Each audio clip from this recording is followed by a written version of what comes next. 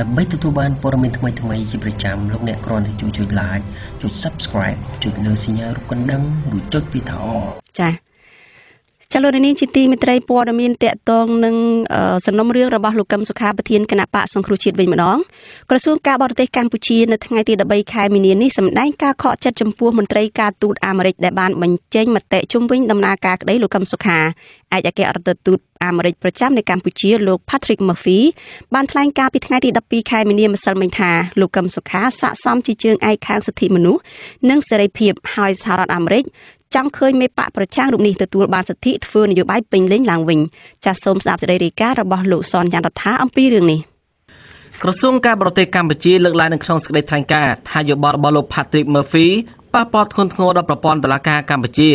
និងបង្ហាញឃើញពីអរិយាប័ត្រគ្មានការទូតនិងខ្វះការគោរពចំពោះអធិបតេយ្យភាពរបស់កម្ពុជាដែលជាប្រទេសម្ចាស់ផ្ទះ ក្រសួងថ្លែងទៀតថាការលើកឡើងនេះផ្ទុយទៅនឹងស្មារតីរបស់ថ្នាក់ដឹកនាំប្រទេសទាំងពីរនៅក្នុងការធ្វើឲ្យប្រសើរឡើងវិញនៅការយោគយល់និងការគ្រប់គ្នាទៅវិញទៅមកព្រមទាំងការបើកទំព័រថ្មីនៃកិច្ចសហប្រតិបត្តិការជាក់ស្ដែងលើគ្រប់វិស័យរបស់ប្រទេសទាំងពីរទៀតផងក្រសួងការបរទេសថ្លែងការពីតុលាការកម្ពុជាថាជាស្ថាប័នឯករាជ្យនិងដាច់ដោយឡែកដោយមានចែងក្នុងរដ្ឋធម្មនុញ្ញក៏ប៉ុន្តែទន្ទឹមនឹងនេះក្រសួងការបរទេសកម្ពុជាមិនបានទាមទារមន្ត្រីទូតអាមេរិក កែតម្រូវប្រសារបស់លោកត្រង់ចំណុចណាមួយនៅឡើយអាស៊ីសេរីបានតាក់ទងតាមអ៊ីមែលទៅមន្ត្រីស្ថានទូតអាមេរិកប្រចាំកម្ពុជារួចហើយដើម្បីសុំប្រតិកម្មតបទៅនឹងសេចក្តីថ្លែងការណ៍របស់ក្រសួងការបរទេសកម្ពុជានេះក៏ប៉ុន្តែមិនទាន់ទទួលបានការឆ្លើយតបនៅឡើយទេគិតត្រឹមម៉ោងផ្សាយនេះឯករដ្ឋទូតអាមេរិកប្រចាំកម្ពុជាលោក Patrick Murphy ថ្លែងក្រោយបញ្ចប់សវនកម្មរឿងក្តីលោកកឹមសុខា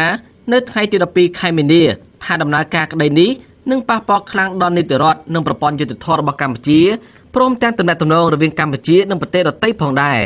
លោកបន្តថាលោកកឹមសុខាសមមន្ត្រីគេទទួលស្គាល់ថាជាជើងឯកខាងសិទ្ធិមនុស្សនិងសេរីភាពហើយសហរដ្ឋអាមេរិកចង់ឃើញមេបកប្រឆាំងរូបនេះទទួលបានសិទ្ធិធ្វើនយោបាយពេញលេញឡើងវិញហើយក៏សង្ឃឹមដែរថាពលរដ្ឋខ្មែរទាំងអស់អាចចូលរួមបាននៅក្នុងដំណើរការនយោបាយជាមួយគ្នានេះដែរលោក Patrick Murphy មិនពេញចិត្តឡើយចំពោះអ្វីដែលលោកហៅថាជាការបដិទ្ធរឿងថាសហរដ្ឋអាមេរិកបានខົບខិតជាមួយលោកកឹមសុខា នៅក្នុងសកម្មភាពដែលអាញាធរចោទថា ជាការប៉ុនប៉ងផ្ដួលរំលំរដ្ឋាភិបាលលោកបកស្រាយថាជំនួយរបស់សហរដ្ឋអាមេរិកមានដំណាភាពហើយត្រូវបានផ្ដល់ឲ្យគ្រប់គណៈបកនយោបាយក្នុងនោះក៏រួមមានទាំងគណៈបកប្រជាជនកម្ពុជារបស់លោកហ៊ុនសែនផងដែរអ្នកនាំពាក្យសមាគមអាត6លោកសឹងសានករណាជឿថាការលើកឡើងរបស់លោក Patrick Murphy នេះនឹងគ្មានឥទ្ធិពលអ្វីលើតុលាការកម្ពុជាឡើយប៉ុន្តែគឺប្រសាទរបស់លោកហ៊ុនសែនទៅវិញទេដែលជាការដាក់សម្ពាធលើតុលាការ លោកយល់ថាមូលហេតុដែលឯករដ្ឋទូតអាមេរិកចាំបាច់ត្រូវបកស្រាយរឿងនេះគឺដោយសារតែកន្លងមកខាអាញាធរកម្ពុជាបានភ្ជាប់ករណីលោកកឹមសុខាជាមួយសហរដ្ឋអាមេរិក។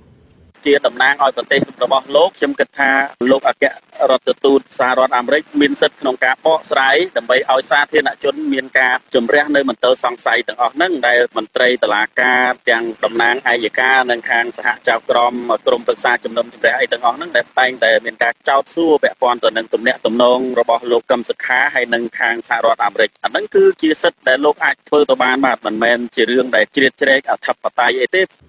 កាលពីប្រមាណថ្ងៃមុននេះ មេដឹកនាំរបបក្រុងភ្នំពេញលោកហ៊ុនសែនបានប្រកាសទុកជាមុនហើយថាលោកកឹមសុខាត្រូវតែមានទោសព្រោះមេបកប្រឆាំងរំនេះបានដឹកនាំការតវ៉ាឲ្យមានការផ្លាស់ប្ដូររដ្ឋាភិបាលនៅក្រៅការបោះឆ្នោតលោកបញ្ជាក់ថាលោកបានត្រៀមពន្ធនាគាររួចហើយហើយបើតឡាការចេញសារក្រមពេលណានោះលោកនឹងចាប់ខ្លួនមេបកប្រឆាំងលោកកឹមសុខាដាក់គុកវិញភ្លាមខ្ញុំសនចាររថាអាស៊ីសេរីរាយការណ៍ពីរដ្ឋធានី វ៉ាស៊ីនតោនសំរៀងស៊ីអនុប្រធានស្ដីទីគណៈបកសង្គ្រោះជាតិដែលជាអតីតរដ្ឋមន្ត្រីក្រសួងសេដ្ឋកិច្ចសង្កេតឃើញអំពីភាពទាល់ច្រករបស់លោកហ៊ុនសែនដែលប្រើនយោបាយប្រជាពិធម្ដងហើយម្ដងទៀតក្នុងការដោះស្រាយបញ្ហាវិបត្តិសេដ្ឋកិច្ចក្នុងស្ថានភាពនៃការរីករាលដាលនៃមេរោគកូវីដ -19 ថ្មីនិងការដកប្រព័ន្ធការអនុគ្រោះពន្ធ EBA បាទលោកសំរៀងស៊ីដែលជាប្រធានស្ដីទីរបស់គណៈបកសង្គ្រោះជាតិបានបញ្ជាក់ថាលោកហ៊ុនសែននៅតែដឹកនាំប្រទេសតាមរបៀបស្មានម្ដងលោកហ៊ុនសែនប្រកាសត្រៀម30លានដុល្លារដើម្បីទប់ទល់នឹងការរីករាលដាលនៃមេរោគកូវីដ -19 ថ្មីម្ដងថាមានត្រៀមពី800ទៅ2000លានដុល្លារតើការប្រកាសដ៏ច្រើនសន្ធឹកនេះតើលោកហ៊ុនសែនបានមកពីណានៅពេលដែលសេដ្ឋកិច្ចកម្ពុជាកំពុងតែធ្លាក់ខ្លាំងដោយសារតែវិបត្តិទាំងនេះលោកសំរងស៊ីនឹងចូលខ្លួនមកបកស្រាយជុំវិញបញ្ហានេះនៅក្នុងការផ្សាយរបស់យើងដែលខ្ញុំបាទនឹងសម្ភាសលោកផ្ទាល់នាពេលបន្តិចទៀតនេះបាទសូមអរគុណអាស៊ីសេរី បាទលោកនាងជាទីមេត្រីងាកមកព័ត៌មានតកតងជាមួយនឹងដំណើរការក្តីរបស់លោកកឹមសុខាដែលប្រព្រឹត្តទៅនៅក្នុងសប្តាហ៍នេះដែលជាថ្ងៃទី2ហើយជាថ្ងៃបញ្ចប់នៅក្នុងសប្តាហ៍នេះដែរគឺឯកអគ្គរដ្ឋទូតសហរដ្ឋអាមេរិកប្រចាំនៅប្រទេសកម្ពុជាលោក Patrick Murphy បានចូលតាមដានសវនាការកាត់ក្តីរឿងលោកកឹមសុខានេះគឺជាលើកដំបូងបងអស់ហើយតាំងពីពិបាកសវនាការមកនោះគឺថ្ងៃនេះគឺជាថ្ងៃទី12ខែមីនាលោកបានចូលទៅក្នុងបន្ទប់សវនាការទៅតាមដានដំណើរការក្តីនេះហើយពេលដែលចេញមកវិញក៏ក៏បានចេញច្រានចោលនឹងការចាប់ប្រកាន់គ្មានមូលដ្ឋានរបស់អាជ្ញាធរកម្ពុជាដែលថាសហរដ្ឋអាមេរិកមានពាក់ព័ន្ធនៅក្នុងគម្រោងការរបស់លោកកឹមសុខានោះលោកសេចបណ្ឌិតមានសេចក្តីរាយការណ៍លំអិតជុំវិញព័ត៌មាននេះឯកអគ្គរដ្ឋទូតសហរដ្ឋអាមេរិកប្រចាំនៅកម្ពុជាលោក Patrick Murphy ថ្លែងប្រាប់ក្រុមអ្នកសារព័ត៌មានថាសហរដ្ឋអាមេរិកមិនពេញចិត្តឡើយចំពោះការប្រឌិតរឿងថាសហរដ្ឋអាមេរិកបានខុបខិតជាមួយលោកកម្មសខាក្នុងសកម្មភាពដែលអាជ្ញាធរកម្ពុជាចោទថា ជាការប៉ុនប៉ងផ្ដួលរំលំរដ្ឋាភិបាល លោកបញ្ជាក់ថា ជំនួយរបស់សហរដ្ឋអាមេរិកមានតម្លាភាពនិងត្រូវបានផ្ដល់ឲ្យគ្រប់គណៈបកនយោបាយក្នុងនោះក៏រួមមានទាំងគណៈបកប្រជាជនកម្ពុជារបស់លោកហ៊ុនសែនផងដែរ We're very troubled to see that prosecutors have introduced into the courtroom យើងមានការរំខានចិត្តដែលខាងព្រះរាជអាជ្ញាលើកឡើងនៅរឿងប្រឌិតអំពីសហរដ្ឋអាមេរិកតាក់ទងនឹងការខុបខិតជាមួយលោកកឹមសុខា ជាការពិតនោះគឺថាក្នុងពេលប្រមាណទសវត្សរ៍មកនេះសហរដ្ឋអាមេរិកបានផ្ដល់ជំនួយប្រមាណ3000លានដុល្លារដល់កម្ពុជា ក្នុងនោះរួមទាំងជំនួយប្រកបដោយតម្លាភាពដើម្បីពង្រឹងស្ថាប័ននិងគណៈបកនយោបាយស្របតាមរដ្ឋធម្មនុញ្ញរបស់កម្ពុជាកម្មវិធីរបស់យើងគឺសម្រាប់គ្រប់គណៈបកនយោបាយទាំងអស់រួមទាំងគណៈបកប្រជាជនកម្ពុជា ដែលកំពុងកាន់អំណាច និងស្ថាប័នជាច្រើនទៀតរបស់រដ្ឋាភិបាលផងដែរ including the governing CPP party and many government institutions ចាប់តាំងពីចូលកាន់តំណែងផ្លូវការជាឯកអគ្គរដ្ឋទូតសហរដ្ឋអាមេរិកប្រចាំនៅកម្ពុជា កាលពីខែតុលាឆ្នាំ2019នោះមក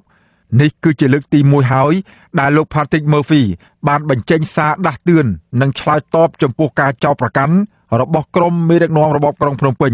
ដែលជាញឹកញាប់ត្រូវមន្ត្រីក្រៅបង្គាប់នាំគ្នាស្រែកបន្ទោតាមគ្នាថា សហរដ្ឋអាមេរិកគឺជាអ្នកនៅពីក្រោយខ្នងលោកកំសខា ក្នុងផែនការបដិវត្តពណ៌លោក Patrick Murphy គូបញ្ជាក់ទៀតថាប្រធានគណៈបកសង្គ្រោះជាតិលោកកំសខា មានកេរ្តិ៍ឈ្មោះដែលសមនឹងទទួលបាននៅទូទាំងពិភពលោក ថាជាជើងឯកខាងសិទ្ធិមនុស្សនិងសេរីភាព លោកអះអាងថាសហរដ្ឋអាមេរិកចង់ឃើញលោកកំសខាទទួលបានសិទ្ធិធ្វើនយោបាយពេញលេញឡើងវិញ ហើយក៏សង្ឃឹមដែរថា ប្រជាពលរដ្ឋខ្មែរទាំងអស់អាចចូលរួមនៅក្នុងដំណើរការនយោបាយបានទោះយ៉ាងណាមេដឹកនាំរបបក្រុងភ្នំពេញលហ៊ុនសែនបានប្រកាសទុកជាមុនហើយថាលោកកំសខាត្រូវតែមានទោសព្រោះមេបកប្រឆាំងរូបនេះដឹកនាំការតវ៉ាឲ្យមានការផ្លាស់ប្ដូររដ្ឋាភិបាលក្រោយការបោះឆ្នោត ជាពិសេសលោកបានទម្លាក់កំហុសរឿងហិង្សានៅផ្លូវវែងស្រេងទៅលើក្រុមមេបកប្រឆាំងបើទោះបីជាសាស័យនៅកន្លែងកើតហេតុ បានឃើញកងកម្លាំងចម្រុះរដ្ឋាភិបាលគឺជាអ្នកបានប្រើហិង្សាបង្ក្រាបទៅលើក្រុមបាតកោអហិង្សាជាមុននិងបន្ទាប់មកបានបាញ់ទៅលើក្រុមប្រជាពលរដ្ឋឲ្យស្លាប់នៅគ្រានោះក៏ដោយចុះអាមុនបោះឆ្នោតហើយឃោសនាដូមដូហើយឃោសនាត្រូវហើយដូមដូដូអានឹងមុនបោះឆ្នោតតែក្រោយបោះឆ្នោតរួចហើយហើយមកទៀតដូអានឹងស្អីផែនការព្រួរំលំចុងក្រោយតែថ្ងៃប្រាច់ប្រាត់29ខែធ្នូឆ្នាំ2013អានឹងជាស្អី ដែលជីរងផុតនាំដល់មនុស្សស្លាប់និងរបួសនៅផ្លូវវែងស្អីអានឹងជាស្អីគិតមិនឲ្យគេកាត់ទោសឲ្យស្អីត្រូវតែកាត់ហើយម្ដងនេះមិនមែនតែពាំងខ្លងទេប្រាប់ឲ្យហើយកន្លែងផ្សេងតាស្តាល់ក្រមចេញក្រឹបហើយគឺដាក់ហើយគឺទៅទុកទេការប្រកាសបែបនេះរបស់លោកហ៊ុនសែនត្រូវបានអ្នកច្បាប់និងអ្នកការពារសិទ្ធិមនុស្សចាត់ទុកថា ជាទង្វើខុសច្បាប់ និងជាការរំលោភបំពានដល់ឯករាជ្យនៃអំណាចតុលាការដែលធ្វើឲ្យចៅក្រមភ័យខ្លាច មិនហ៊ានកាត់សេចក្តីតាមវិជាជីវៈឡើយឯកអគ្គរដ្ឋទូតសហរដ្ឋអាមេរិកប្រចាំនៅកម្ពុជាលោក Patrick Murphy អះអាងថាសហរដ្ឋអាមេរិកកំពុងតាមដានសវនាការសំណុំរឿងលោកកំសខាយ៉ាងដិតដល់លោកសង្កត់ធ្ងន់លើដំណើរការការក្តីនេះថាជាបច្ច័យយ៉ាងសំខាន់សម្រាប់នីតិរដ្ឋភាពត្រឹមត្រូវតាមច្បាប់ហើយនឹងទំនាក់ទំនងអន្តរជាតិរបស់កម្ពុជា ជាមួយគ្នានេះលោកក៏បដិសេធចំពោះការចោទប្រកាន់របស់រដ្ឋាភិបាលដែលថា សហរដ្ឋអាមេរិកមានបំណងជ្រៀតជ្រែកកិច្ចការផ្ទៃក្នុងរបស់កម្ពុជាដែរ United States has never sought to interfere in សហរដ្ឋអាមេរិក Cambodia's មិន governance. ដែលចង់ជ្រៀតជ្រែកអភិបាលកិច្ចរបស់កម្ពុជានោះទេហើយយើងគោរពយ៉ាងពេញលេញចំពោះឯករាជ្យនិងអធិបតេយ្យរបស់កម្ពុជាក៏ប៉ុន្តែទន្ទឹមនឹងនេះយើងគាំទ្រសេរីភាពបញ្ចេញមតិសង្គមស៊ីវិលដែលមានភាពសកម្មនិងការអត់ឱនដល់ទស្សនៈប្រឆាំងដែលជាធាតុផ្សំដ៏សំខាន់នៃលទ្ធិប្រជាធិបតេយ្យ អ្នកជំនាញខាងវិទ្យាសាស្ត្រនយោបាយលោកអែមសវណ្ណារាមើលឃើញថាសហរដ្ឋអាមេរិកចាំបាច់ត្រូវតែតាមដានករណីលោកកំសខានិងថ្លែងការណ៍អំពីចំហរបស់ខ្លួនពីព្រោះរដ្ឋាភិបាលកម្ពុជា បានចោទអាមេរិកថា ជាអ្នកនៅពីក្រោយខ្នងលោកកំសខាលោកថាដោយសារតែការចោទប្រកាន់បែបនេះហើយទើបបានជាតំណែងតំណងរវាងប្រទេសទាំងពីរហាក់មានភាពល្អកកដល់ពេលសពថ្ងៃនេះលោកបន្ថែមថាប្រសាសន៍របស់លោក Patrick Murphy សបញ្ជាក់ឲ្យឃើញថាសហរដ្ឋអាមេរិកគ្មានជំនឿលើភ័ស្តុតាង ដែលអាជ្ញាធរកម្ពុជា យកមកប្រើដើម្បីចោទលោកកម្មសខា និងចោទអាមេរិកថា មានជាប់ពាក់ព័ន្ធក្នុងរឿងនេះ សហរដ្ឋអាមេរិកគេមានតំណាងរបស់គេតាមដានរហូតដូច្នេះដល់ពេលវេលាមួយដែលត្រូវគេធ្វើសេចក្តីថ្លែងការណ៍ដើម្បីបញ្ជាក់អំពីភាពមិនពាក់ព័ន្ធហើយនឹងមិនពាក់ជំពិននៅក្នុងរឿងសំគំនិតនេះទេគេចង់បង្ហាញអំពីសុខសន្តិនៅក្នុងការកសាងទំនាក់ទំនងភាគីកម្ពុជាសហរដ្ឋអាមេរិកឲ្យមកមានភាពប្រសើរហើយលោកអាមសវណ្ណារាពន្យល់ថាសហរដ្ឋអាមេរិកជាភាគីហត្ថលេខីនៃកិច្ចព្រមព្រៀងសន្តិភាពទីក្រុងប៉ារីសឆ្នាំ1991ដូច្នេះ ប្រទេសមហាអំណាចមួយនេះមានសិទ្ធិជំរុញឲ្យរដ្ឋាភិបាលកម្ពុជាអនុវត្តកាតព្វកិច្ចរបស់ខ្លួន ស្របតាមកិច្ចព្រមព្រៀងនិងបទដ្ឋានអន្តរជាតិទាំងឡាយដែលកម្ពុជាបានទទួលស្គាល់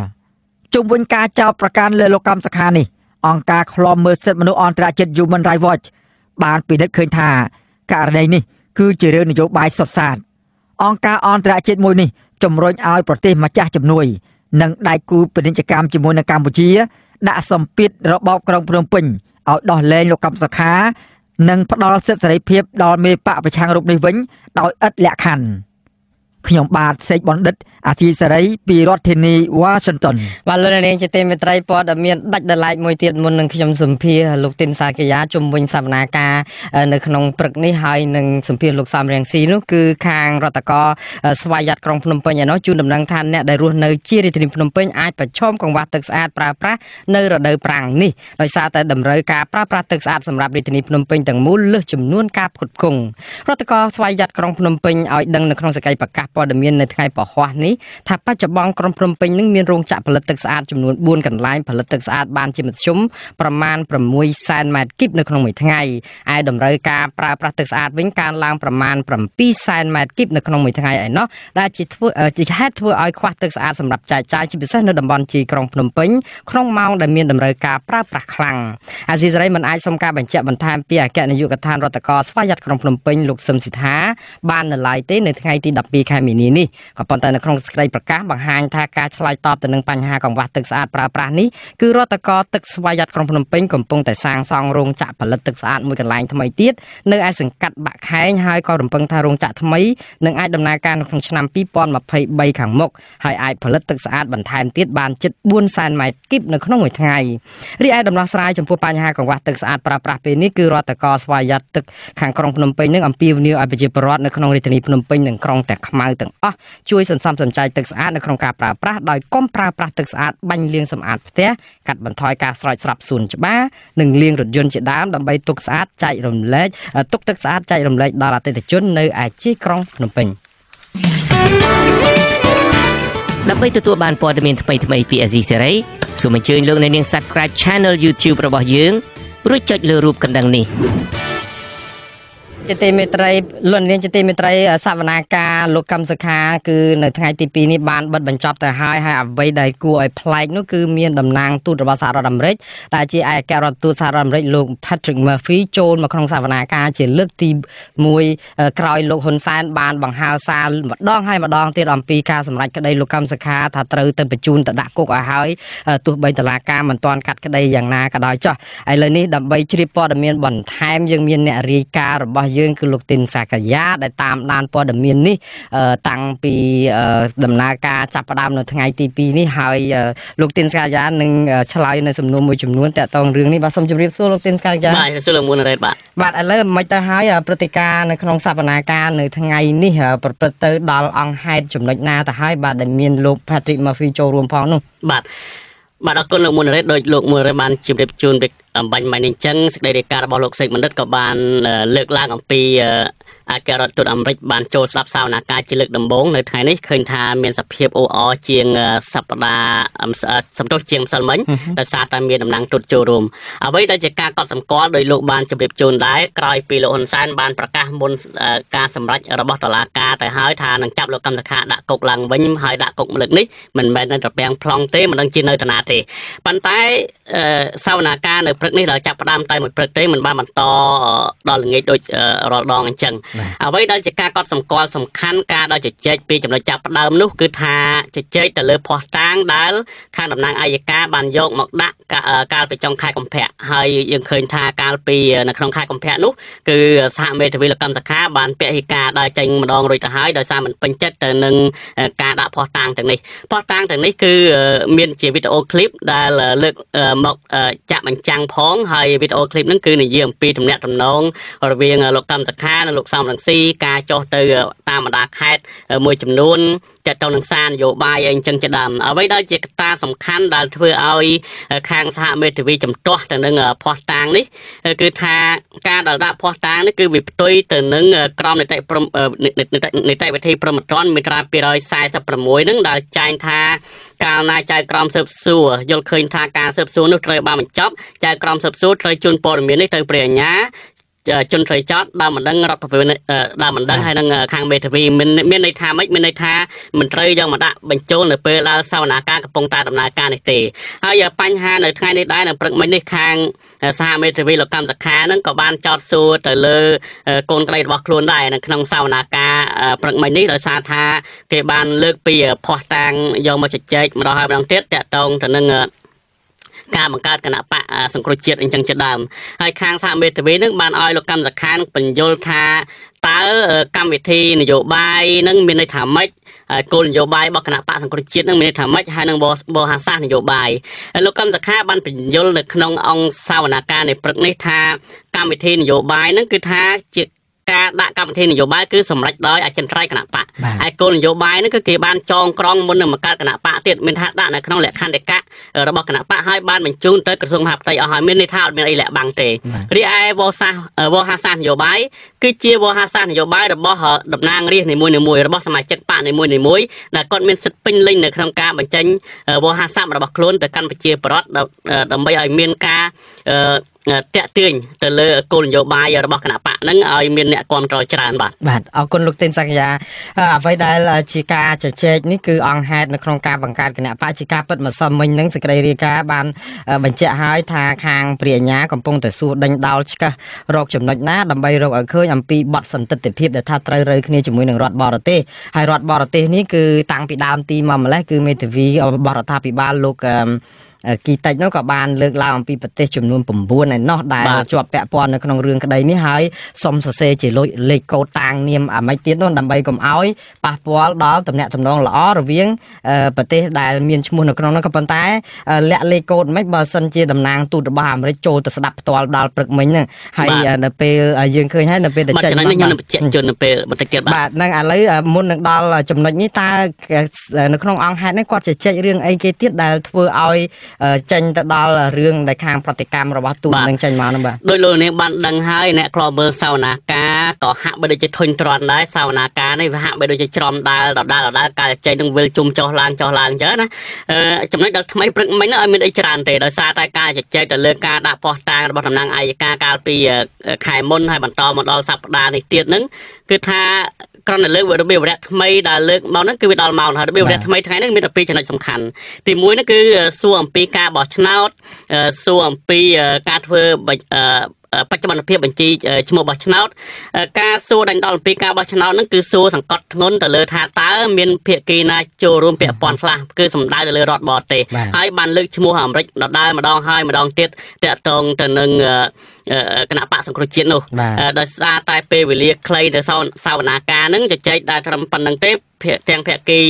ខាងដើមមិនដឹងខាងរដ្ឋាភិបាលក៏មិនទាន់បានចោទសួរឯខាង ឯខាងសហមេធាវីលោកកម្មសខាក៏មិនទាន់បានចោទសួរក៏មិនទាន់បានឆ្លើយអ្វីទាំងអស់អ្វីដែលជាការកត់សម្គាល់សំខាន់មកទល់ពេលនេះដែលខាងសហមេធាវីលើកឡើងថាគេមានភ័ស្តុតាង3 4វេលាហ្នឹងមកទល់ពេលនេះនៅក្នុងដំណាក់កាលជំនុំជម្រះចំណាក់ដំណាក់កាលសួរដេញដល់នេះខាងសហមេធាវីដែលមិនដឹងនឹងខាងរដ្ឋាភិបាលមិនទាន់បានបញ្ចេញឯកសារមួយវ៉ាលីណាទេមួយសន្លឹកណាទេមកទល់ពេលនេះតែខាងមេសហមេធាវីលោកកម្មសខាវិញមកទល់ពេលនេះ បើខ្ញុំមិនច្រឡំទេក្តាំសំទោសផោះតាងនឹងដែលដាក់នឹងប្រហែលជាង40ហើយបាទជាង40ហើយហើយខាងតំណាងអាយកាប្រហែលជាជិត10អីអញ្ចឹងគឺផោះតាងដាក់ចូលនោះបាទ បាទលោកសាកយាចំណុចដែលរឿងថានិយាយពីរឿងបទសន្តិទិភាពនេះ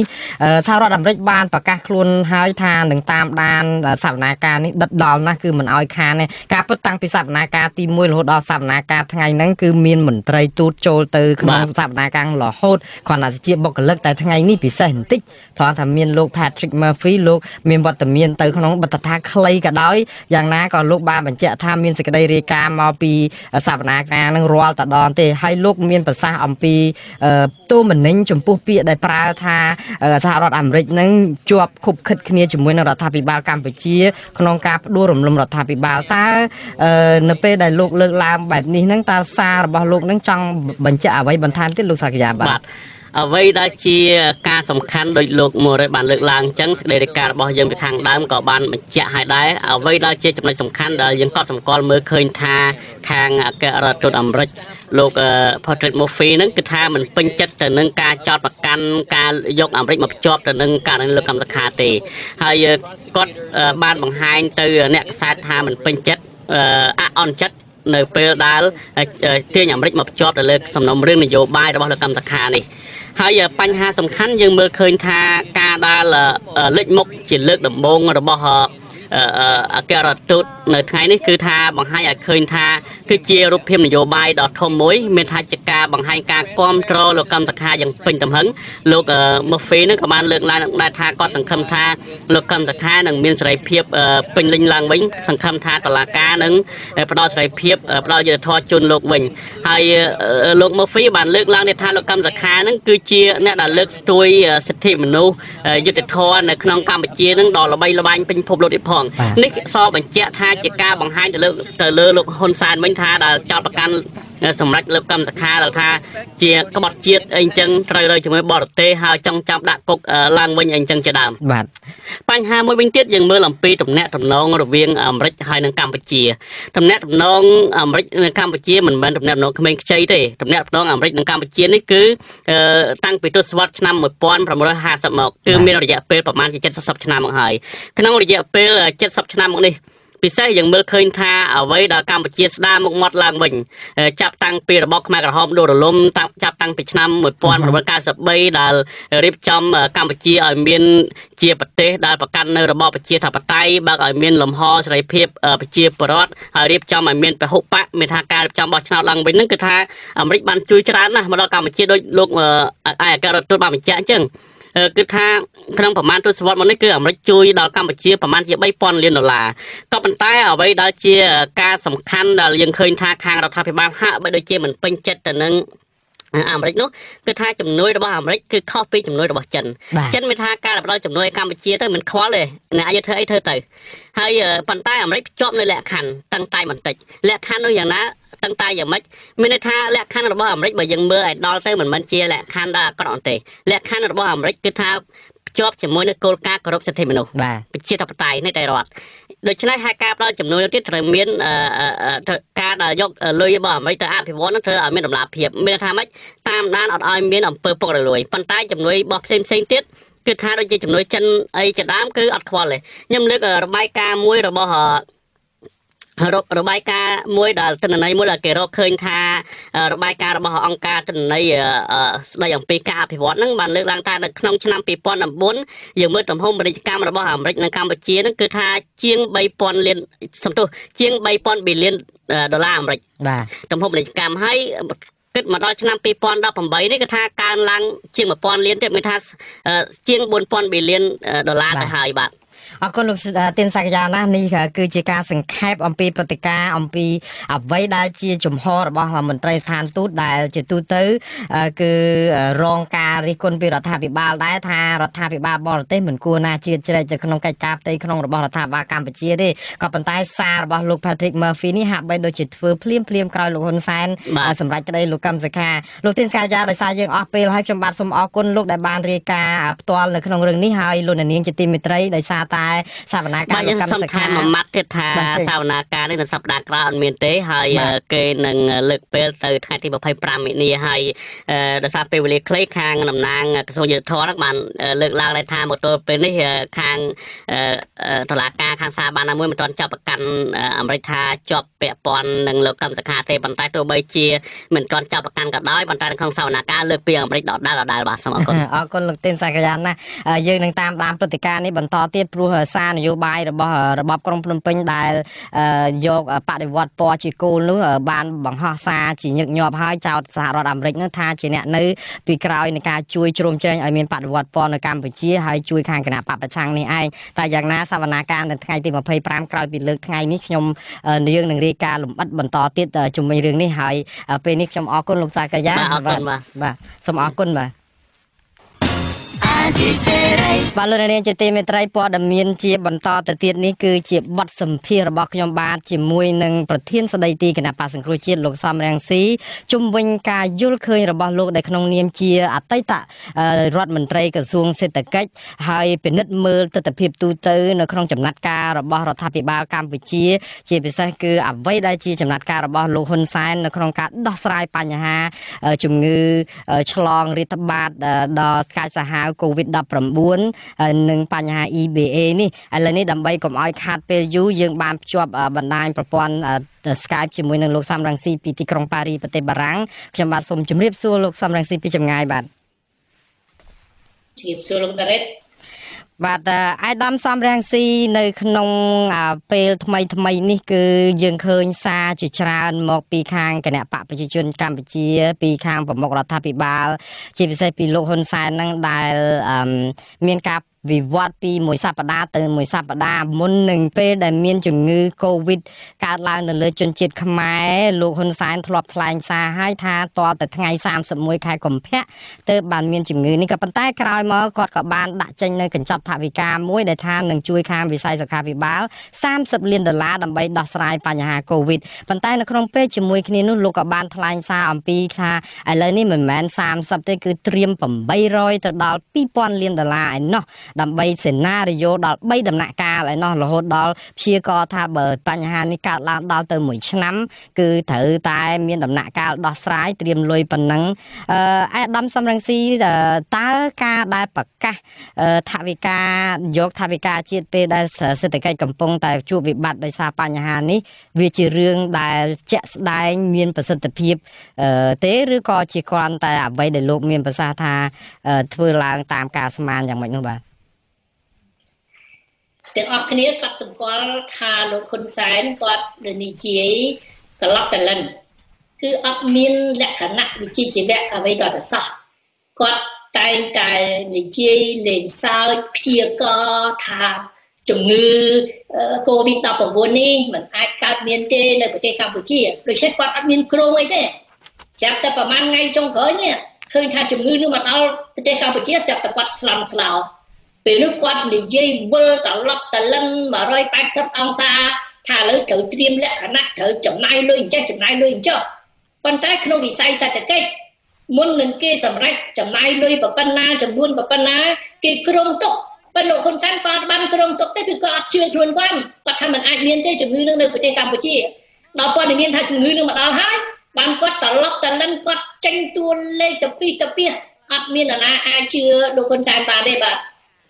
អាយដាមសំរងស៊ីការដែលចេញតួលេខមកនេះគឺជាការពិតនៅក្នុងកញ្ចប់ថវិកាជាតិនឹងនៅក្នុងឆ្នាំ2020រដ្ឋាភិបាលត្រូវការប្រាក់ប្រហែលជា8000លានដុល្លារនៅក្នុង8000លានដុល្លារហ្នឹងគឺមិនគ្រប់ទេនៅក្នុងការប្រមូលពន្ធនឹងយើងអត់ទាន់គិតអំពីវិបត្តិសេដ្ឋកិច្ចអំពីបញ្ហាកូវីដ -19 នេះទេគឺត្រូវការខ្ចីបរទេសប្រហែល2000លានដុល្លារទៀតចុះឥឡូវនៅពេលស្ថានភាពបែបនេះកើតឡើងហើយនៅពេលដែលរដ្ឋាភិបាលប្រកាសអំពីកញ្ចប់ថវិកាបែបនេះតើបានមកពីណាដែរអាយដាំបាទបានមកពីខ្យល់បាទពីព្រោះលោកហ៊ុនសែននិយាយខ្យល់គាត់មានតែតួលេខរបស់គាត់គឺឈរលើខ្យល់សុទ្ធពីព្រោះបើយើងមើលចំនួនទំហំថវិកាការបែងចែកថវិកាការប្រើប្រាស់ប្រាក់ចំណូលរបស់រដ្ឋទៅជាប្រាក់ចំណាយផ្សេងផ្សេងយើងនឹក ឃើញយល់ឃើញយ៉ាងច្បាស់ថាมันអាចទៅរួចទេมันអាចប្រមូល2000លានដុល្លារថ្មីថ្មីតទេតទេចេញមកពីថវិកាជាតិបែបហ្នឹងទេមានន័យថាលោកហ៊ុនសែនគាត់និយាយអត់ដឹងក្តីអីទេនិយាយឲ្យទៅរួចពីមាត់ អាដាមមានប្រសាសន៍អំពីថាលុយនឹងបានមកពីខ្យល់ចុះលុយដែលលោកសុនសែនថា មានមាសដល់ទៅ30តោនដែលមានទាំងនៅធនាគារជាតិផងនៅក្រៅប្រទេសផងនោះអានោះมันអាចយកមកជួយអីនៅក្នុងការដោះទាល់មួយគ្រានឹងបានដែរទេឬអាដាមបាទលុយបំរុងបែបនេះគេទុកដើម្បីទុកទល់អោនភាពជញ្ជីងពាណិជ្ជកម្ម គេមិនអាចយកមកចាយប្រើប្រាស់ប្រចាំថ្ងៃអញ្ចឹងទេហើយពេលវេលាដែលកាន់តែគៀកមកដល់នេះយើងឃើញថាប្រាក់ចំណូលរបស់រដ្ឋគឺកាន់តែចុះថយថែមទៀតពីព្រោះវិស័យធំធំ3ដែលទ្រទ្រង់សេដ្ឋកិច្ចប្រទេសកម្ពុជា មានវិស័យទេសចរទី1វិស័យកាត់ដេរសម្ភារបំពាក់ទី2ហើយវិស័យសំណង់ទី3វិស័យធំធំនេះគឺកំពុងតែធ្លាក់ចុះខ្លាំងណាស់ ទេសចរគឺដោយសារតែការភ័យខ្លាចពីជំងឺ Covid គឺចំនួនទេសចរជាពិសេសទេសចរពីស្រុកចិនគឺធ្លាក់ចុះមែនតើនៅសល់តែ10 20%ទេធ្លាក់80%នោះគឺវាខ្លាំងមែនតើកាត់ដេរក៏ចឹងដែរវិស័យកាត់ដេរដោយសារ EBA គេត្បិតទ្វារទីផ្សារសហភាពអឺរ៉ុបផងប៉ុន្តែឥឡូវនេះភ្លាមភ្លាមនេះគឺវាអត់មានវត្ថុធាតុដើមដូចជាកាណាប់ដូចជាលេវខ្សែរូតអីនោះមកពីស្រុកចិន ឥឡូវនេះអត់មានទេពីព្រោះរោងចក្រនៅស្រុកចិនក៏កាំងអញ្ចឹងរោងចក្រនៅស្រុកខ្មែរក៏កាំងហើយសំណងវាយ៉ាងដែរសំណងពឹងពាក់ថាវិនិយោគចិនមកសាងសង់អីសម្បើមណាស់ស្រាប់តែឥឡូវចិនដកខ្លួនថយគឺវិបត្តិធំណាស់ព្រោះទៅលោកហ៊ុនសែនតែថាថាចាំឲ្យចិនជួយចាំទៅសុំពឹងចិនជួយមិនត្រូវការអាមេរិកមិនត្រូវការអឺរ៉ុបរំពឹងតែចិន តែឥឡូវនឹងចិនគ្រូជួយខ្លួនឯងមិនទាំងកើតផងទៅរំពឹងឲ្យចិនមកបំពេញកបាស់ខាតលោកហ៊ុនសែនការដឹកនាំអាក្រក់របស់លោកហ៊ុនសែនទៅមិនរួចទេអញ្ចឹងហើយបានថាលោកហ៊ុនសែនគាត់ភ័យគាត់មិនដឹងនិយាយអីគាត់ចេះតែបញ្ចេញតួលេខដែលខ្ញុំហៅថាតួលេខខ្យល់គាត់ចង់ថាប្រមាណស្រែកចិត្តគាត់ទៅប៉ុន្តែគ្មាននរណាអាចជឿបានទេបាទ បាទអាដាមអរគុណណាស់អាដាមមានប្រសាសន៍អំបញ្ញមិញតកតងជាមួយនឹងវត្ថុធាតុដើមដែលនាំចូលពីប្រទេសចិននេះជាការពិតនៅពេលដែលគាត់ជួននឹង EBA ត្រូវគេដក20%មិនទាន់បានអនុវត្តឲ្យមានប្រសិទ្ធភាពផងតចាំដល់ខែសីហាថ្ងៃ12សីហាឯណោះមានផ្ទុះពីកូវីដ -19 នឹងមកភ្លាមហ្នឹងក៏ធ្វើឲ្យកម្ពុជានឹងបាត់បង់វត្ថុធាតុដើមស្ទើរតែទាំងស្រុងរហូតដល់រោងចក្រហ្នឹងត្រូវតែបិទទ្វារ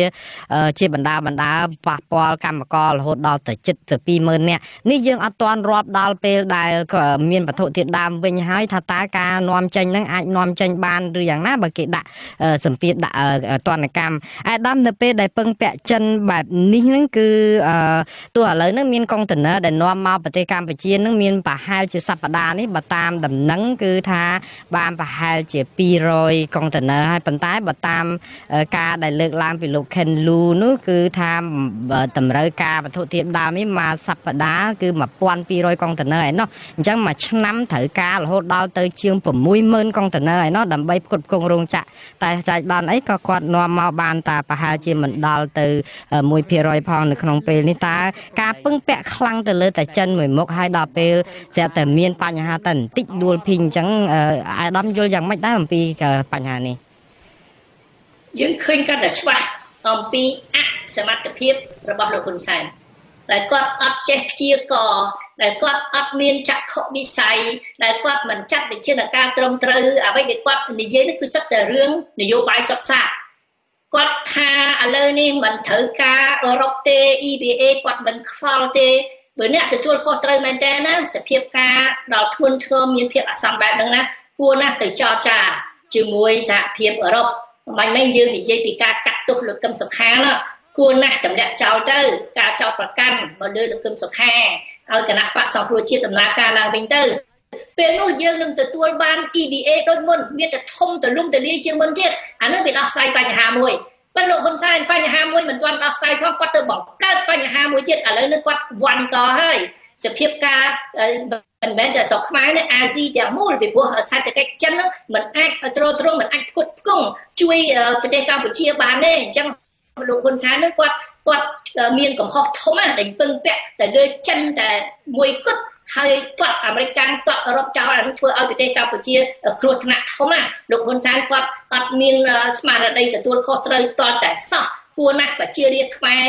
កងកម្លាំងប្រដាប់អាវុធសំបីតែក្នុង ជួរគណៈបកប្រជាជនហ្នឹងគឺត្រូវតែយល់ថាលោកហ៊ុនសែនគាត់ត្រូវដល់ទីបញ្ចប់របស់គាត់ហើយគាត់គិតតែរឿងគ្រួសារគាត់កាល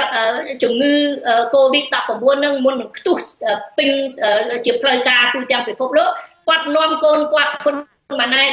គាត់ទៅសុំឲ្យចិននោះឲ្យជួយធ្វើម៉េចបន្ទប់ហ៊ុនម៉ាណែតជំនួសគាត់ថ្ងៃណាមួយអញ្ចឹងគាត់អត់មានគិតពីរឿងប្រទេសជាតិតតែសោះគាត់គិតតែរឿងផ្ទាល់ខ្លួនគ្រួសារគាត់អំណាចគាត់ចង់ផ្ទេរតំណែងឲ្យកូនគាត់ប្រជារាស្ត្រខ្មែរស្លាប់ឬវិធានាយ៉ាងម៉េចគឺលោកហ៊ុនសែនអត់ខ្វល់តតែសោះអាដាមសំរងស៊ីនៅពេលដែលនិយាយអំពីចិននិយាយអំពីការត្រៀមជើងព្រួលដើម្បីដោះស្រាយវិបត្តិសេដ្ឋកិច្ចនេះអឺ កាលពីខែមីនាគឺចុងខែមីនាឆ្នាំ2019លោកហ៊ុនសែនបានប្រ កាសយ៉ាង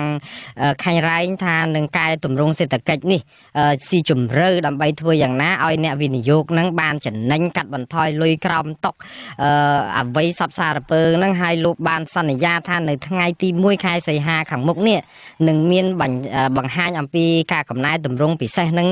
បន្ថែមទៀតដើម្បីជួយដោះស្រាយបញ្ហាសេដ្ឋកិច្ចនេះកុំឲ្យវាដាបខ្លាំងអេដាមនៅធ្លាប់ជារដ្ឋមន្ត្រីក្រសួងសេដ្ឋកិច្ចពីមុនដែរតើបើសិនជាអាយដាមកាន់ការងារនៅក្នុងវិស័យនេះវិញតើគួរធ្វើយ៉ាងម៉េចឲ្យប្រសើរជាងនេះបើអាយដាមគិតថាមិនត្រូវត្រូវតែធ្វើអ្វីដែលពិភពលោកគេរងចាំមើលប្រទេសកម្ពុជាពីព្រោះសេដ្ឋកិច្ចការវិនិយោគគឺអាស្រ័យលើការទុកចិត្តតែអ្វីដែលលោកហ៊ុនសែនធ្វើមកទល់នៅពេលនេះគឺមិនផ្ដល់មិនផ្ដល់ការទុកចិត្ត ដល់អ្នកវិនិយោគធំធំទេខ្ញុំជូនឧទាហរណ៍តែមួយថ្មីថ្មីនេះប្រហែលថ្ងៃមុននេះមានអង្គការពិភពលោកមួយឈ្មោះថា World Justice Project គេបានតាមដានស្ថានភាពនយោបាយស្ថានភាពខាងតុលាការថាតើមានការគោរពច្បាប់នីតិរដ្ឋទេ មានប្រទេស128ប្រទេសដែលគេពិនិត្យ ហើយលទ្ធផលគេឃើញថាប្រទេសកម្ពុជាគឺគ្មាននីតិរដ្ឋទាល់តែសោះគឺស្ថិតនៅក្នុងលំដាប់ថ្នាក់127លើ128គឺចော့គេ128ដែលចော့គេមែនតើនោះគឺវេណេស៊ុយអេឡាស្រុកដែលកំពុងតែជួលច្បល់ដែលមានជនផ្ដាច់ការមួយឈ្មោះម៉ាឌូរ៉ូដោយហ៊ុនសែនយើងកំពុងតែក្រាញអំណាចដូច្នេះប្រទេសដែលមានជនផ្ដាច់ការកំពុងតែក្រាញអំណាចនោះគឺគ្មាននីតិរដ្ឋទាល់តែសោះ អ្វីដែលលោកហ៊ុនសែននិយាយគឺនិយាយคล้ายคล้ายទាំងអស់ប្រជាធិបតេយ្យគាត់ក៏คล้ายคล้ายតឡាការគាត់ក៏คล้ายคล้ายអភិវឌ្ឍគាត់ក៏คล้ายคล้ายឥឡូវនេះតរ៉ាគាត់ក៏คล้ายคล้ายអញ្ចឹងបើធ្វើអ្វីក៏คล้ายคล้ายវាអត់ទៅមុខទេវាអត់រីកចម្រើនទេគាត់មិនអាចទៅបោកបញ្ឆោតទៅខប្រជារាស្ត្រខ្មែរអត់ជឿតែពិភពលោកទាំងមូលក្នុងវិស័យសេដ្ឋកិច្ចដូចខ្ញុំនិយាយបាញ់មិញអាស្រ័យលើការទុកចិត្តបើលោកហ៊ុនសែននិយាយអ្វីសិទ្ធិផលអ្វីដែលគាត់លើកឡើងคล้ายคล้ายទាំងអស់តាមតំណាទុកចិត្ត អ្នកណាមកវិនិយោគអ្នកណាមករកស៊ីត្រឹមត្រូវនៅប្រទេសកម្ពុជាអ្នកណាក្រុមហ៊ុនណាដែលមានលក្ខណៈអន្តរជាតិដែលអាចផ្ដល់ការងារជូនពលករខ្មែរយុវជនខ្មែរដែលកំពុងតែខ្វះការងាររក ការងារធ្វើមិនបានឥឡូវមានតែបាត់បង់ការងារទៀតដោយសារការគ្រប់គ្រងសេដ្ឋកិច្ចហើយគ្រប់គ្រងនយោបាយមិនល្អរឿងគណៈបកសង្គ្រោះជាតិរឿងសម្រាប់លទ្ធិប្រជាធិបតេយ្យរឿងតែអែបជាមួយចិនរឿងតែឆ្លោះទាត់អាមេរិកកាន់ទាត់អឺរ៉ុបអ្នកណារងគ្រោះគឺប្រជារាស្ត្រខ្មែរស្លូតត្រង់ដែលជាអ្នករងគ្រោះអញ្ចឹងហើយបានយើងត្រូវតែបដូរបដូរនយោបាយហើយបើហ៊ុនសែនមិនព្រមកែខ្លួនទេត្រូវតែបដូររបបសប្តាហ៍តែម្ដងដើម្បីសង្គ្រោះមិនមែនសង្គ្រោះតែសេដ្ឋកិច្ចប្រទេសកម្ពុជាទេសង្គ្រោះជីវភាពរស់នៅរបស់ប្រជាពលរដ្ឋ16លាននាក់ អាយដាមសំរងស៊ីតកតងជាមួយនឹងការទាត់ចោលអាមេរិកទាត់ចោលសហគមន៍អឺរ៉ុបនេះបើតាមអ្វីដែលជាប្រសាសន៍របស់លោកហ៊ុនសែនលោកហាក់បីដូចជាលើកចង់បង្ហាញថារបបនយោបាយប្រទេសកម្ពុជានឹងមិនទាត់ចោលប្រទេសណាទេ សំខាន់គឺអ្នកដែលមកច្រើនជាងគេនឹងគឺសម្បូរតែខាងចិននឹងឯងតាមពិតគាត់បើកដៃឲ្យអាមេរិកឲ្យសហភាពអឺរ៉ុបអីសហគមន៍អឺរ៉ុបអីនឹងចូលមករកស៊ីមកវិនិយោគអីនៅកម្ពុជាតើបកាអីខ្លះដោយអាដាមមានប្រសាសន៍ពីរឿង WJP នេះហើយតើប្រការអីខ្លះទៀតដែលថាធ្វើឲ្យអ្នកវិនិយោគទាំងនោះឬក៏ប្រទេសទាំងនោះមិនចូលមកប្រទេសកម្ពុជា បានចូលតែខាងភាគីចិននោះបាទប្រការអំពើពុករលួយពីព្រោះប្រទេសដែលកាន់អធិប្រជាធិបតេយ្យគេលើកតម្កើងតម្លាភាពតម្លាភាពនឹងគឺកុំឲ្យមានការលាក់បាំងបិទបាំងធ្វើអ្វីបង្ហាញឲ្យប្រជាពលរដ្ឋតាមដាន ឲ្យរដ្ឋសភាតាមដានឲ្យសារព័ត៌មានតាមដានឲ្យសាធារណមតិតាមដានបានគេនឹងទទួលគេនឹងវែកមុខថាអ្នកណាប្រព្រឹត្តអំពើពុករលួយខុសឆ្គងយ៉ាងម៉េចយ៉ាងម៉េចគេនឹងកែតម្រូវតែនៅប្រទេសកម្ពុជាសប្តាហ៍ក្រោមរបបលោកហ៊ុនសែនគឺបាត់បង់ហើយគម្រាមកំហែងអ្នកណាសួរចង់ដឹងការពិតសួរអីច្រើនពេក អាចគេចោទប្រកាន់ថាក្បត់ជាតិថាអាចធ្វើអីណាធំសេនាអីណាអញ្ចឹងគឺអត់មានអាណាហ៊ាននិយាយអត់មានអាណាហ៊ានលាតត្រដាងការពិតហើយរដ្ឋអំណាចក៏បិទបាំងចិត្តឈឹងលោកហ៊ុនសែនចូលចិត្តណាធ្វើការរបៀបហ្នឹងពីព្រោះបើទៅខ្ចីលុយចិន គឺចិនអត់មានសួរនាំទេថាលុយនឹងយកទៅធ្វើអីប្រើប្រមាណសល់ប្រមាណទុកប្រមាណចែកគ្នាយ៉ាងម៉េចចិនអត់សួរនាំទេចិនថាឲ្យធ្វើអីត្រូវទៅអញ្ចឹងគាត់ចូលចិត្តណាធ្វើការជាមួយចិនប្រាក់ដែលគាត់ទៅខ្ចីពីចិនមកនោះគឺគាត់យកមកប្រើប្រាស់ខ្ជះខ្ជាយពុករលួយតាមចិត្ត ប៉ុន្តែបើទៅខ្ចីលុយពីសហរដ្ឋអាមេរិកពីធនាគារពិភពលោកពីសហភាពអឺរ៉ុបគេអត់ទេគេតាមដានគេតាមដានគេថាលុយនឹងយកមកដើម្បីបម្រើផលប្រយោជន៍ប្រជាពលរដ្ឋដើម្បីមកជួយអភិវឌ្ឍពិតប្រាកដមិនយកមកពុករលួយមិនយកមកខ្ជះខ្ជាយអញ្ចឹងលោកហ៊ុនសែនអត់ចូលចិត្តទេ គាត់ទៅអែបជាមួយចិនព្រោះបានលុយដែលគាត់យកមកប្រើប្រាស់ធ្វើមានធ្វើបានក្រុមគ្រួសារគាត់បាក់ពួកគាត់មានលុយកប់ពពកអីប្រជារាស្ត្រខ្មែរក្ររហេតុរហាមហ្នឹងជានយោបាយរបស់លោកហ៊ុនសែនហើយលោកហ៊ុនសែនគាត់ត្រូវការចិនពេកទៅគឺគាត់ធ្វើអីក៏ធ្វើដែរឲ្យទៅបំពេញចិត្តចិនគឺគាត់ចង់យកចិត្តចិនគឺថាចិនហើយនិងសហរដ្ឋអាមេរិកកំពុងតែបទុះសារាយកំពុងតែប៉ះតិចគ្នាដូច្នេះគាត់ត្រូវតែធ្វើតាមចិនគាត់ត្រូវត្រូវតែ អែបជាមួយចិនហើយជេរសហរដ្ឋអាមេរិកថ្កោលទោសសហរដ្ឋអាមេរិកអាមេរិកធ្វើអីក៏ខុសពីព្រោះនឹងជាភាសាដែលចិនសบายចិត្តឲ្យលោកហ៊ុនសែននិយាយបែបហ្នឹងអញ្ចឹងបានថាលោកហ៊ុនសែនគាត់ធ្វើឲ្យប្រទេសកម្ពុជាคล้ายទៅជារណបរបស់ចិនហើយលោកហ៊ុនសែនខ្លួនឯងคล้ายទៅជាសេកស័ក្តិសិទ្ធិរបស់ចិនគឺសូត្រតាមការឃោសនារបស់ចិននឹងនេះធ្វើឲ្យខូចផលប្រយោជន៍ប្រទេសកម្ពុជាយើងយ៉ាងធ្ងន់ធ្ងរ អាដាមការដែលអាដាមមានប្រសាសន៍អំពីការខូចប្រយោជន៍ប្រទេសកម្ពុជាធ្ងន់ធ្ងរនេះលោកហ៊ុនសែនថាធ្វើ អ្វីដែលដូចជានយោបាយនៅក្នុងការដែលពេលដែលចិនកំពុងតែមានវិបត្តិហើយស្របពេលហ្នឹងឧទាហរណ៍ដូចជាធ្វើថាចាត់វិធានការយ៉ាងណា ដើម្បី ជួយទប់ស្កាត់ជំងឺ Corona virus នេះមេរោគ Corona virus នេះជួយចិនឧទាហរណ៍ដូចមិនយកនិស្សិតពីវូហានមកហើយទៅចិនអីនាំកូនដោយលោកអាដាមមានប្រសាសន៍ថាយកហ៊ុនម៉ាណែតទៅដល់ចិនអីនេះដើម្បីបង្ហាញអំពីការគ្រប់គ្រងថារួមរស់រួមសុខរួមទុក្ខនេះគាត់ថាជាការធ្វើដ៏ត្រឹមត្រូវមិនត្រឹមតែត្រឹមត្រូវទេគឺមហាត្រឹមត្រូវទៀតអញ្ចឹងនៅពេលដែលអាដាមថាសន្យាប្រាក់800ទៅ2000លានដុល្លារខ្យល់នេះអាចលោកហ៊ុនសែនថាមិនមែនខ្យល់ទេគឺអាចយកមកពីចិនបានតែចិនអាចឲ្យខ្ចីមកដើម្បីដោះស្រាយបញ្ហាហ្នឹងអាចទៅផ្លូវនឹងកើតទេមើលទៅលោកហ៊ុនសែនគាត់ចេះតែនិយាយគាត់ចេះតែរំពឹងលើចិនប៉ុន្តែឥឡូវល្មមដឹងខ្លួនហើយ កាលមុនគាត់និយាយថាខ្វះកណាត់ឲ្យចិនដឹកកណាត់តាមយន្តហោះឥឡូវមានឃើញយន្តហោះណាមួយពីស្រុកចិនដឹកកណាត់មកដល់ស្រុកខ្មែរទេអត់ទេគេដឹកកប៉ាល់ធម្មតាគេឲ្យមកតក់មកតក់មកតក់បានប្រមាណ200កុងតឺន័រដែលយើងត្រូវការ2000កុងតឺន័រហ្នឹងបាន200កុងតឺន័រវាអត់គ្រាន់ទេអញ្ចឹងកុំរំពឹងលើចិនតាមការយល់សប្តិរបស់លោកហ៊ុនសែននោះហើយបើលោកហ៊ុនសែនចង់លេងសើចនឹងលេងសើចទៅម្នាក់គាត់ទៅកុំយកជីវិតប្រជាពលរដ្ឋមកលេងសើច ដូចជានិស្សិតខ្មែរនៅទីក្រុងវូហានប្រទេសចិនគ្នាព្រួយបារម្ភពីជំងឺ Covid-19 គ្នាចង់មកស្រុកខ្មែរវិញថាទេកុំទៅទៅស្លាប់រស់ជាមួយចិនដែរពីព្រោះយើងស្រឡាញ់ចិនណាស់ ចង់ឲ្យយើងបង្ហាញសាមគ្គីភាពជាមួយចិនលោកហ៊ុនសែនគាត់ទៅស្លាប់ជាមួយចិនម្នាក់គាត់ទៅរឿងអីគាត់ទៅបង្ខំឲ្យនិស្សិតខ្មែរនៅស្រុកចិនស្លាប់ហើយចុងក្រោយនេះរឿងអីគាត់ទៅបើកអាជើងមេឃអីណាឲ្យយន្តហោះមកពីស្រុកចិនចុះតាមចិត្តឲ្យមេរោគពីប្រទេសចិនចូលមកតាមចិត្តធ្វើឲ្យឥឡូវគាត់ថាអត់អីទេអត់អីទេអត់មានការជំងឺនឹងទេឥឡូវឃើញហើយឃើញច្បាស់ហើយមានន័យថាលោកហ៊ុនសែននិយាយទាំងប្រមាណគឺខុសទាំងអស់ ហើយអ្នកដែលរងគ្រោះគឺប្រជារាស្ត្រខ្មែរស្លូតត្រង់ដែលត្រូវតែរស់នៅក្រោមរបបក្រុមមន្ត្រីសុខាភិបាលនិងអាជ្ញាធរខេត្តសៀមរាបបានរកឃើញអ្នកប៉ះពាល់ផ្ទាល់ជាមួយជនជាតិជប៉ុនរូបនោះចំនួន4នាក់និងប្រមាណបាទអាយដាមតកតងជាមួយនឹងអវ័យដែលអាយដាមមានប្រសាសន៍អំពីការនិយាយមិនដូចអវ័យដែលជាការទស្សនវិជ្ជាជាក់ស្ដែងរឿងមួយទៀតខ្ញុំនៅចាំមិនទាន់ភ្លេចទេគឺនៅពេលដែលអាយដាមប្រហោះសារនៅលើបណ្ដាញសង្គម Twitter ជាពិសេសគឺនៅពេលដែលលោកហ៊ុនសែននិយាយអំពីថាកូវីដហ្នឹងគឺមកនៅស្រុកខ្មែរហ្នឹងទៅចាំសេះដោះស្នែងឬក៏ថ្ងៃ31កុម្ភៈហើយអាយដាមពេលនោះក៏បានសរសេរសារហ្នឹងរបៀបជា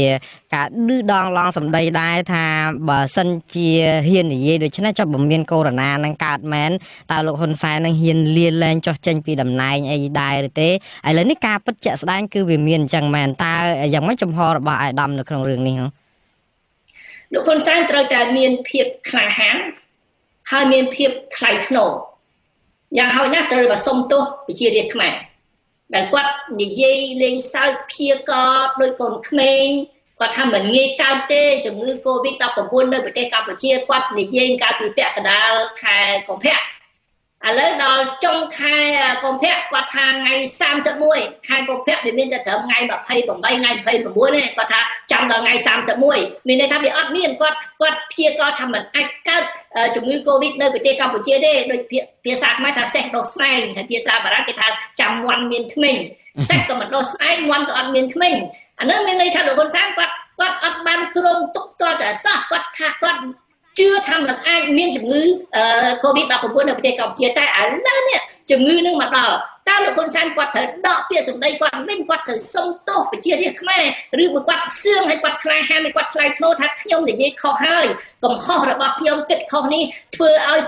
នាំមកនៅគ្រោះថ្នាក់ដល់ជីវិតប្រជាពលរដ្ឋជាច្រើនហើយរដ្ឋរដ្ឋមិនព្យាករមិនទាន់បានទេមិនដឹងជាស្លាប់ប្រមាណអ្នកទេនៅក្នុងប្រទេសកម្ពុជាហើយទូទាំងពិភពលោកដូច្នេះគាត់គាត់និយាយរបៀបកូនក្មេងអត់ទទួលការខុសត្រូវនេះគាត់ត្រូវតែដឹងខ្លួនគាត់ថាខុសប៉ុណ្្នឹងហើយត្រូវសុំលាលែងទៅគឺប្រជារាស្ត្រខ្មែរមិនអាចទុកចិត្តគាត់ទៀតទេ អាយដាមនៅពេលដែលអាយដាមថាការនិយាយនេះរបៀបលេងសើចក៏ប៉ុន្តែលោកហ៊ុនសែនកាលពីដើមទីមកនៅពេលដែលមានការផ្ទុះរីករាលដាលនៃរាលដាលនៃជំងឺ Covid-19 នេះលោកបានលើកឡើងថាវាមិនមែនជារឿងដែលយើងត្រូវខ្លាចជ្រុលទេខ្លាមិនខ្លាចមកខ្លាចអីអាចខ្លាហើយលោកក៏បានមានប្រសាសន៍ទៀតថាអ្វីដែលលោកធ្វើនេះគឺចង់បង្ហាញថាកុំឲ្យខ្មែរនឹងមានអាជំងឺភ័យខ្លាចនឹងតើនេះអាចជាវិធានការនៅក្នុងការទប់ស្កាត់ប្រជាពលរដ្ឋកុំឲ្យភ័យខ្លាចជ្រុលពេកដែរទេឧទាហរណ៍ដូចថាតើមានថ្ងៃ31កុម្ភៈបានមានជំងឺនឹងនៅស្រុកខ្មែរលើប្រជាពលរដ្ឋខ្មែរឬក៏ថាតលតែតកតងជាមួយនឹងការដែលទប់ស្កាត់ទៀតពាក់ម៉ាស់ពាក់អីកាលដំបូងអ្នកដែលចូលទៅក្នុងវិមានសន្តិភាពចូលនៅក្នុងសន្និសិទគាត់ហ្នឹងគឺនរណាហ៊ានពាក់ម៉ាស់ចង់ដេញចេញតែឥឡូវមិនបានប្រាប់ថាកុំពាក់ម៉ាស់ទៀតតែពាក់កសែងអីអញ្ចឹងតើអានឹងអាចជាការទប់ស្កាត់នៅក្នុងកុំឲ្យភ័យខ្លាចអញ្ចឹងដែរទេអាយដាមឬក៏គិតថាធ្វើដើម្បីដោះទាល់លោកហ៊ុនសែនគាត់មិនមានស្មារតីទទួលខុសត្រូវក្នុងឋានៈជាអ្នកដឹកនាំក្នុងឋានៈយើងជាអ្នកដឹកនាំយើងត្រូវផ្ដល់គំរូឲ្យអ្នកដទៃគំរូដល់ប្រជាពលរដ្ឋ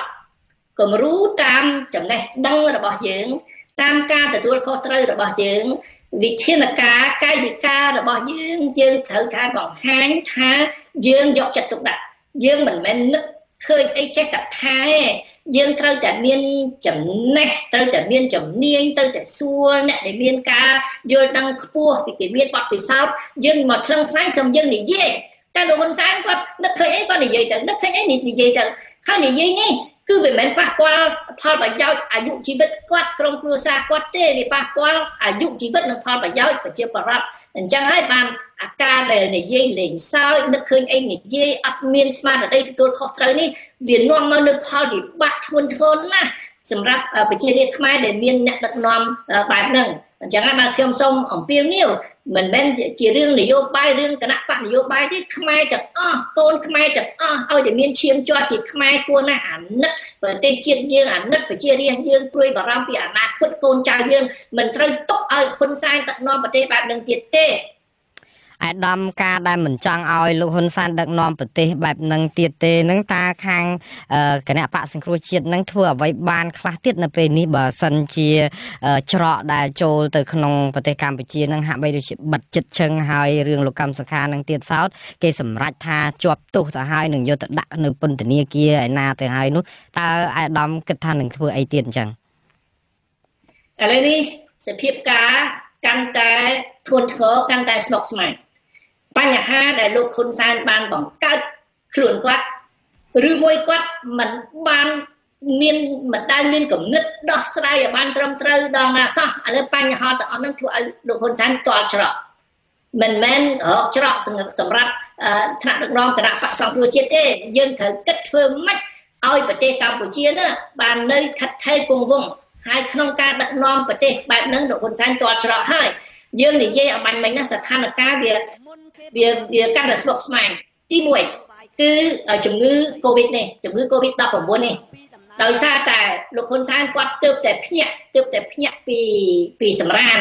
ណាគេផ្អើលគេឆោឡោទូទាំងពិភពលោកគាត់ថាអត់អីទេអត់អីទេដូច្នេះគាត់អត់មានក្រមទឹកគាត់អត់មានគិតមុនគាត់អត់មានសួរគេឯងថាត្រូវចាត់វិធានការយ៉ាងម៉េចស្រាប់តែគាត់ភ្ញាក់ភ្លាមគាត់ថាអូទទួលស្គាល់ខុសហើយអញ្ចឹងគាត់និយាយទៅពីទៅពីត្រូវធ្វើអញ្ចេះត្រូវធ្វើអញ្ចឹង អ្នកណាជឿគាត់បានគេជឿចំពោះតែអ្នកណាដែលព្យាករត្រឹមត្រូវតែបើយើងត្រឡប់តលិនបែបហ្នឹងអ្នកណាគេជឿយើងទៀតអញ្ចឹងបានថាជំងឺ Covid-19 នេះបើបើយើងមិនមិនចាត់វិធានការហើយបើមានអ្នកមិនមានអ្នកទទួលខុសត្រូវដឹកនាំប្រទេសទេគឺវារៀលដាលឆ្លងដែននាំមកធ្វើឲ្យអ្នកស្លាប់ច្រើនណាស់នៅក្នុងពិភពលោកមិនមែនតែប្រទេសកម្ពុជាទីព្រួយបារម្ភទេនឹងជាបញ្ហាទី1បញ្ហាទី2គឺបញ្ហាសេដ្ឋកិច្ច ពីព្រោះវាធ្លាក់ខ្ញុំរាប់វិស័យសេដ្ឋកិច្ចទាំង3បាញ់មិញទាំងទេសចរទាំងការផលិតសម្លៀកបំពាក់យកទៅលក់នៅក្រៅប្រទេសហើយនឹងទាំងវិស័យសំណង់គឺដោយសារតកតងនឹងជំងឺ Covid នេះគឺវាធ្លាក់ចុះតើដោះស្រាយយ៉ាងម៉េចត្រូវតែមានវិធានការពិសេសត្រូវតែមានអ្នកជំនាញអ្នកសេដ្ឋកិច្ចដែលគេចេះខ្លឹងខ្លៃវិធានការដែលគេដែលគេនឹងពិភាក្សានិងគេនឹងនឹងប្រកាសមិនមែនដោយហ៊ុនសែននឹកឃើញអីថានឹកឃើញអីថាទេ ហ៎ឥឡូវនេះសេដ្ឋកិច្ចប្រទេសចិនកំពុងតែនៅតែក្នុងសភាពការមួយដ៏ពិបាកมันអាចផ្ដល់នៅវត្ថុជាតិដើមឲ្យរោងចក្រកាត់ដេរដែលជាអាយុជីវិតសេដ្ឋកិច្ចយើងដំណើរការបានត្រឹមត្រូវទេ ហកនៅអឺរ៉ុបគេបិទទីផ្សារទៀតដោយសារលោកហ៊ុនសែនសម្លាប់លទ្ធិប្រជាធិបតេយ្យមិនព្រមដោះលែងលោកកឹមសុខាអញ្ចឹងលោកលោកហ៊ុនសែនគាត់បង្កើត